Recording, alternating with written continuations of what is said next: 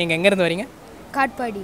நம்ம அகாடமி பற்றி உங்களுக்கு எப்படி தெரிய வந்துச்சு? சைனிக் எப்படி உங்களுக்கு ஃபஸ்ட்டு தெரிஞ்சிச்சு? ஸோ அதை பற்றி சொல்கிறீங்களா எனக்கு சின்ன வயசுலேருந்தே மிலிட்ரி போகிறது ஆசை. அதனால நான் கூகுளில் சர்ச் பண்ணியிருந்தப்போ சைனிக் ஸ்கூல் தெரிஞ்சு.